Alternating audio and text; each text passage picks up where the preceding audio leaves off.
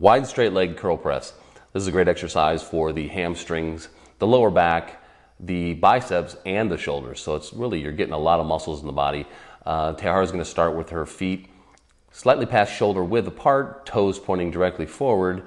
Uh, there's going to be, her knees are going to be flexed, not locked out, and she's also not going to do a squat as she extends her dumbbells. She's going to extend them down to the floor, coming back up. She's going to turn them, curl, and turn and press. So there's a lot of really a lot of portions to this movement. I'm going to have Tehara slow down the movement just a little bit. She's going to go down.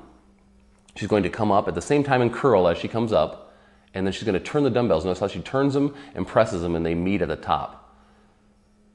So putting it all together and showing the full movement up, curl all at the same time, turn, press, and return. Good. Really focusing as you get up to the top on those shoulders, the top side of the shoulders. You should really feel it in there.